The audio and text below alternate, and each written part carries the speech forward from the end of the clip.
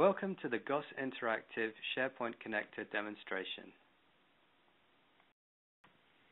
In this demonstration, you'll see how easy it is for administrators to set up publish and unpublish workflows in SharePoint that allow content to be published to a website that uses GOSS ICM. First, let's take a look at the website we're going to publish to. Here's the SharePoint Connected demo section where we've created a page that will contain meeting minutes published from SharePoint. As you can see, there are currently no items on the page.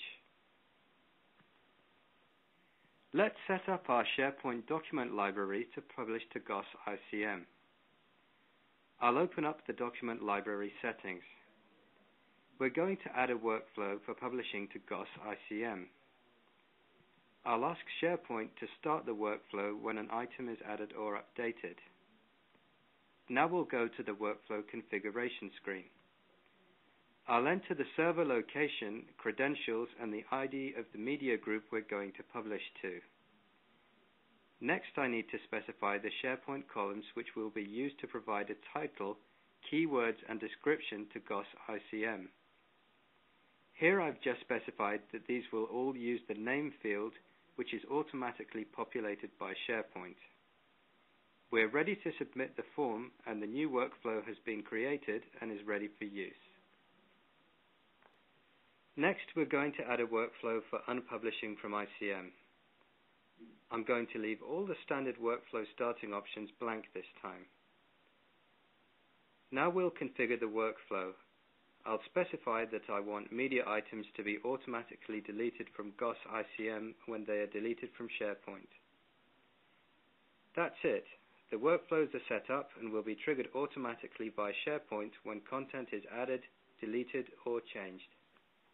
Now we'll use the bulk publishing feature to add the existing contents of the document library to GOSS ICM, which of course will also update the website. I'll select all the items and click the Publish to GOSS ICM button.